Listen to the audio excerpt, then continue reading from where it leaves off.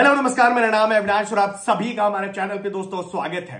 इमाद वसीम, जब तक इनको टीम में रखो, ये बाबर आज़म की इतना ज़्यादा चाटेगा। अरे बाबर आज़म तो ये है, एरोप्लेन में भी बाबर आज़म के बगल में बैठेगा, शताब और इमाम को हटा के।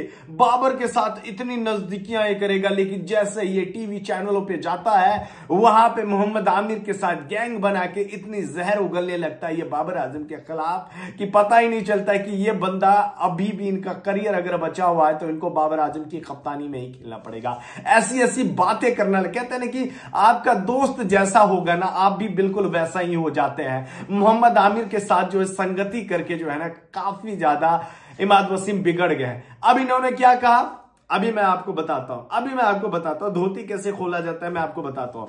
इमाद वसीम ने क्या कहा? कि चेन्नई में जो पार स्कोर है, जो एवरेज स्कोर है, वो है थ्री टेन थ्री ट्वेंटी भाई साहब, बीस साल से क्रिकेट देख रहा हूँ, भारतीय हूँ।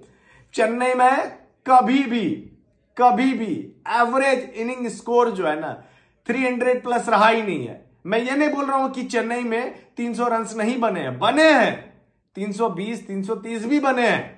लेकिन एवरेज का मतलब हो जाता है कि औसतन लगभग में हर एक मैच में कम से कम फ़र्स्ट इनिंग में 310 रन बनते हैं। अजी, घंटा कहाँ देखे हो? भाई, इमाद वसीम, मुझे आप जरा बता दो। आप तो बड़ी बड़ी बातें कर रहे होते कि मैं तो जो भी बोलता हूँ ना, मैं तो फैक्ट पे बोलता हूँ। मैं, मेरी कोई दुश्मनी नहीं है किसी से, मैं तो पाकिस्तान टीम की बेहतरी के लिए बोलता हूँ।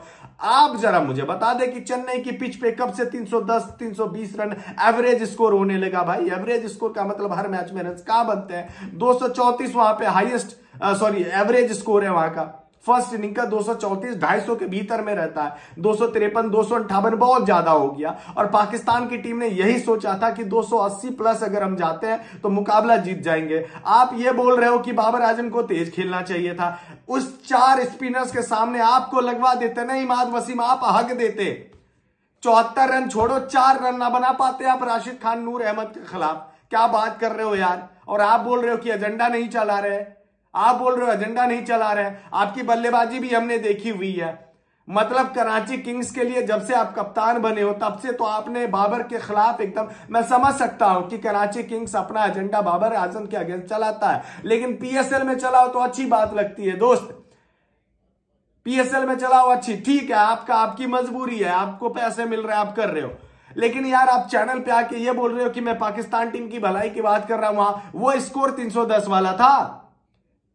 First inning second innings under light change करना आसान हो जाता है जब ड्यू फैक्टर आता है।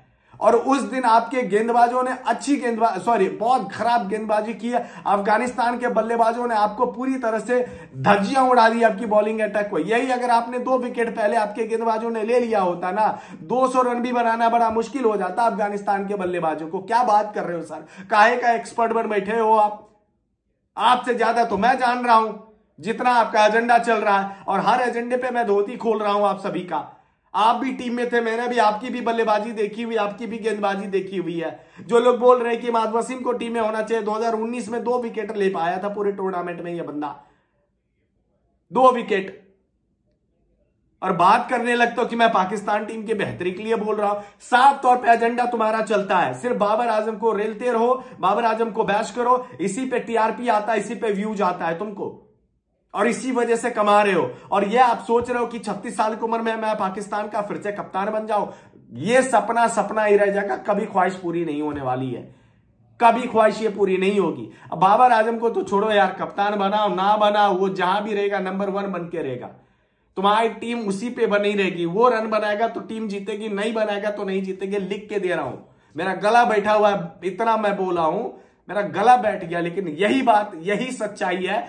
आज भी बाबर आज़म पे तुम्हारी टीम टिकी हुई है, कल भी बाबर आज़म पे टिकी रहेगी, चाहे वो कप्तान रहे या ना रहे। स्टैट्स पहले देख लिया करो कि 310 या 320 बनने वाला स्कोर था, या आपके गेंदबाजों ने। गेंदबाजों ने खराब प्रदर्शन किया उस पर तो एक मुँह ना निकाल रहे हो। आप उल्टा बल्लेबाजों पे ठिकरा फोड़ रहे हो। कैसे एनालिस्ट हो भाई? बात करते हो।